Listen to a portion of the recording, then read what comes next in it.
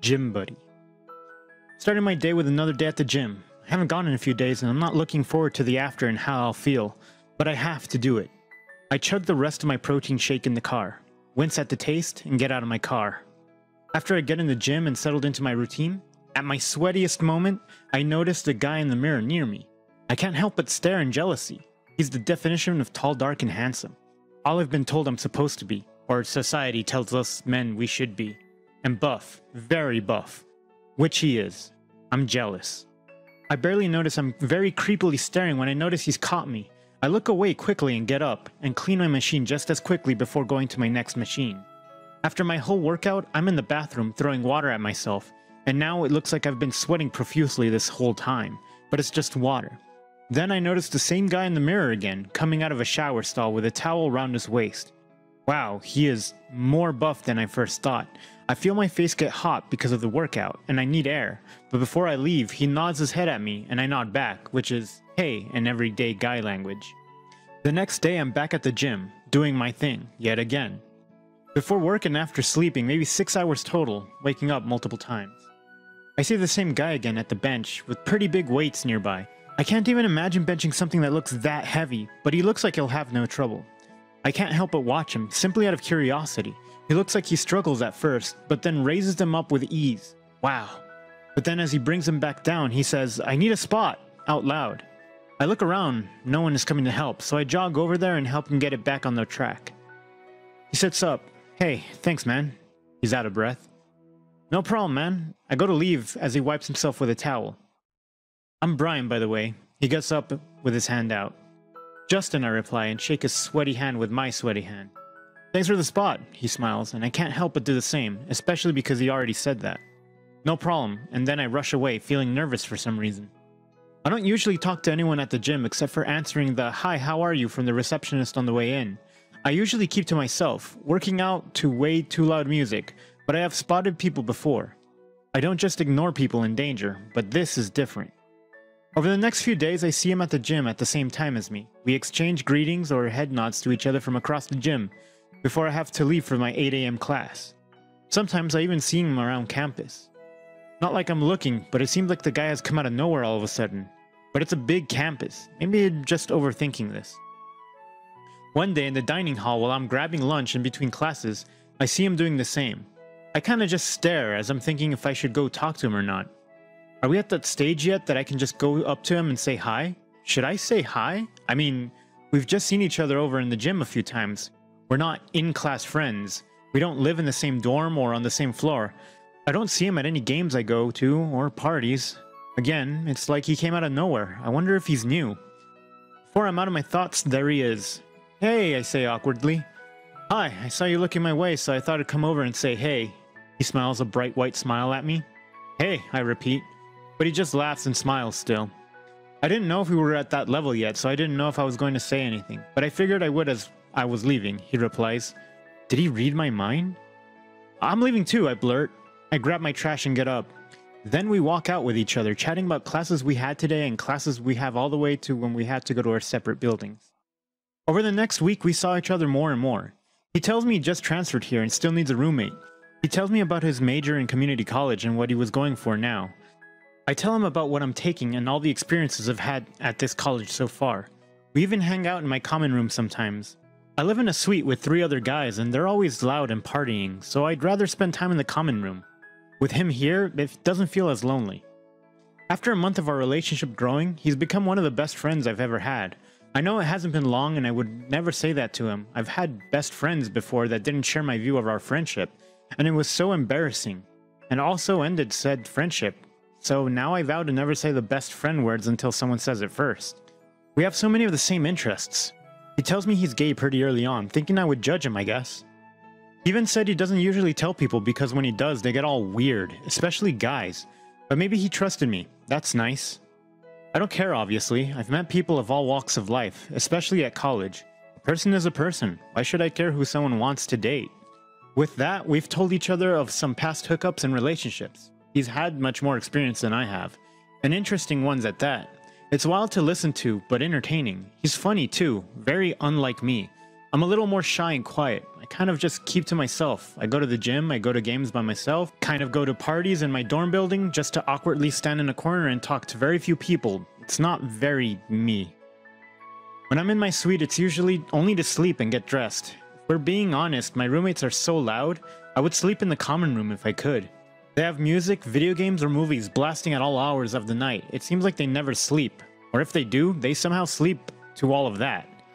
I've started listening to things on my phone to sleep or wearing earplugs, and hey, sometimes I have fallen asleep in the common room while watching TV.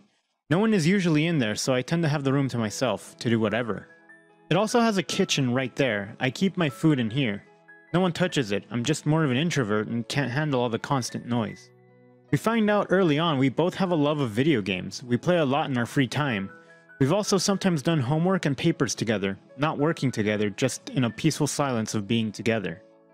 One day, COVID just seems to come out of nowhere, and it's everywhere.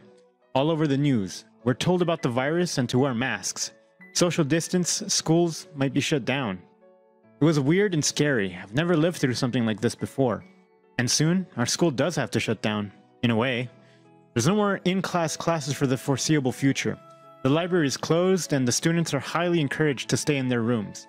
Most people share rooms, so that's going to work out great. The thought of having to be stuck in my dorm room and with a roommate, I almost have a panic attack at the thought. I'm going to go crazy. I tell Jordan about all of this. We're not really isolating from each other. We still have to eat. Wearing masks in between feels weird, like we're in some sort of apocalypse. After I'm done with my venting session, he tells me to breathe and eat. Why don't you just move in with me? He asks. What? I'm surprised. I have a whole apartment to myself, another bedroom. Not that loud. Sometimes, he laughs. Your tuition should cover it just as well as the suite mine does. It makes sense. Kinda does, yeah, I realize. I hate being there alone, so I usually have something on for background noise, but if we have to isolate, I might go insane, he laughs. Sounds like heaven, I laugh. I've actually been kind of thinking about this for a while anyways. I've been alone in the apartment for too long, he says. Well, I accept, I smile, and we shake hands. Not even a day after, we're already started moving my stuff in. I don't care if my roommates have any issue with it. I'm sure one of their buddies will just take that bed. It's happened before. No one will probably even care I'm gone. I don't have a lot of stuff, so me and Jordan get my stuff out within two days. I do the paperwork and I'm moved in. Instantly, I can feel calmer just walking through the door. We're not on campus, but it's a campus housing. It's a really nice two bedroom apartment. Since we're going to be doing online classes and lectures, it's almost like a vacation. A gateway from the chaos of college campus sounds perfect. I settle in right away. We order some workout equipment so we can still work out together. We play video games, we watch movies, we do our Zoom classes and online classes separately, but to be honest, that's about it. We cook and DoorDash most nights. We get into a good rhythm right away. I've never really had a roommate, so this is still new to me. Me and my brother didn't share a room, and I don't think my suite even counted. I didn't talk to any of my roommates. The other guy I shared a room with was hardly even there when I was, and it, I was rarely there. We usually do schoolwork all day and then meet up when we're done. One day, on my way to get some water in between classes, we bump into each other in the hallway. I rounded a corner too fast and we ran into each other. We laugh and go walk away from each other. We're so close to each other I can smell his body wash. I get this flip-flop butterfly feeling in my stomach. I haven't felt in a really long time. It's so weird. I laugh it off, maybe because I haven't been on a date since, well, before quarantine, and I haven't had any physical touch with anyone in a while. Later the same day, it happens again. He touches my arm, looking at the tattoo I have on my bicep. And there's that same butterfly feeling. I don't think I've had butterflies since I was in high school with my first girlfriend. Keyword, girlfriend. I'm straight. I can't be having this feeling, can I? A few months into quarantine and I feel like I'm going almost insane. The butterfly moments happen more and more often, among others. The tension starts to become too much. Not in a bad way per se, but it's a lot. And I can't avoid it anymore. There have been moments I've really just wanted him. I'm not stupid. I know sexuality is fluid and a spectrum. I've just never felt this way for another guy. Ever. I denied it and ignored it for a while, but now I just can't. The other day I went up to him as he was sitting on the couch and I put my hands on his shoulders, asking what he wanted to do that night. He put his hands on mine and it was like a shock ran up my arms. I so wanted to just reach down and hug him, but I didn't. I just pulled away nervously. Lately, a lot of those moments have been happening. Not sure if he even notices anything is different, because since the beginning, we've always been like this. We've always been pretty playful with each other, but now it just feels like this is palpable tension. Sometimes we get drunk at home, just to have a little extra fun, and with the happy tipsiness, I feel like I could kiss him. But instead, sometimes I just look into his eyes for way too long.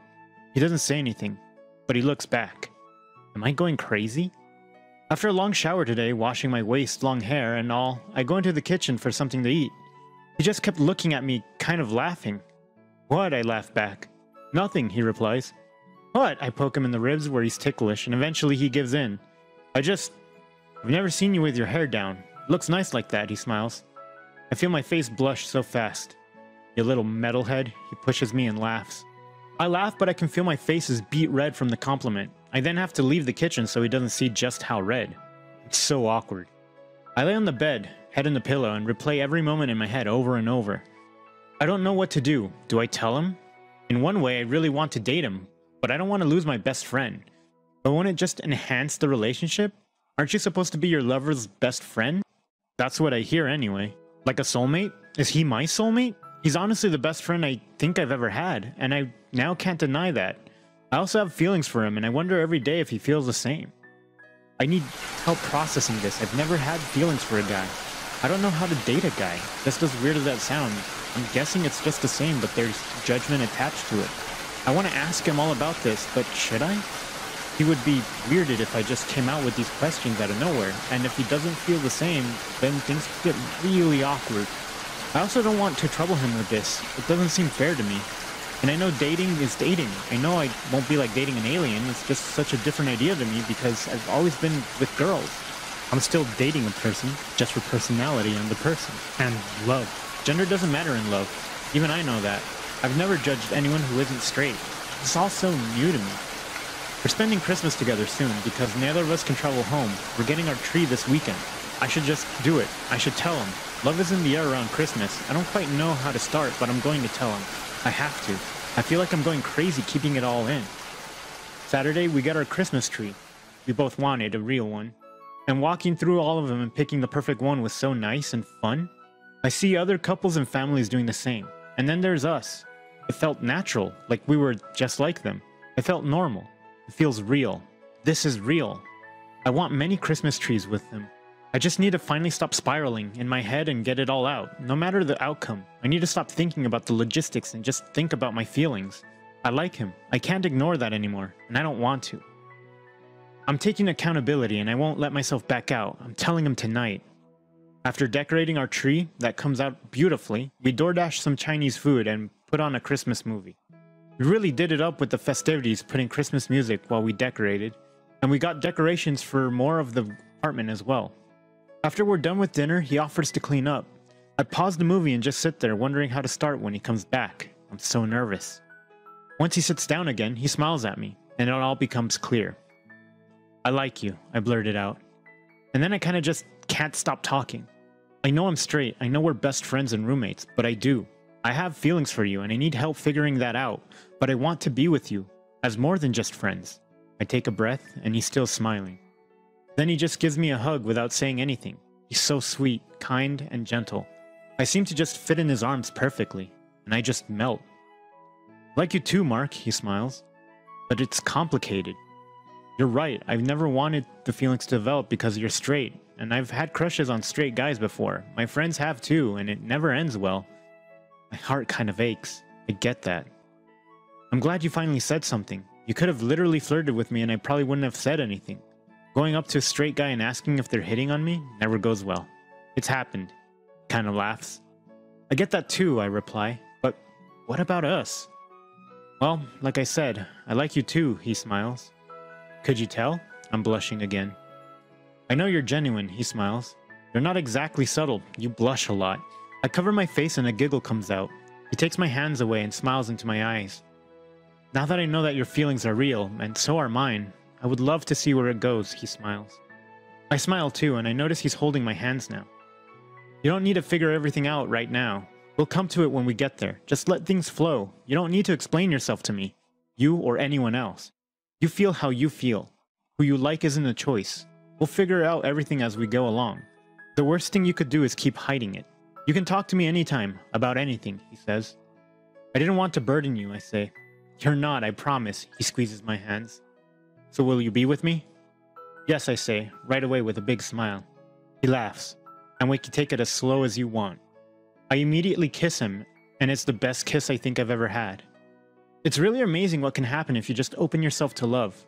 I never thought this would happen, but I'm so happy. Never deny your feelings. It could lead to the happiest part of your life. The end. Thanks for watching. Consider subscribing to become part of our Rainbow Force, and stay wholesome.